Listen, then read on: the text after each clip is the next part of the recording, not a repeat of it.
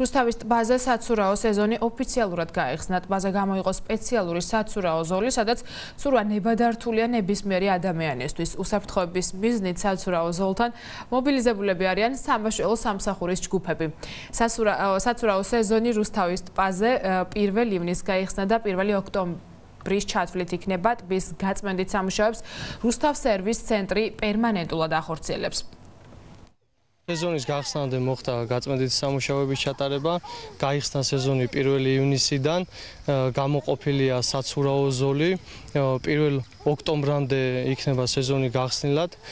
ხოლო რაც შეეხება უშუალოდ ადგილზე გამოყოფილ ზოლზე პატრულირებს სამი მაშველი, ერთი მაშველი კატერით ახორციელებს პატრულირებას ტბის ტერიტორიაზე. ნებადართულია დრო დილის 10 საათიდან საღამოს 10 საათამდე.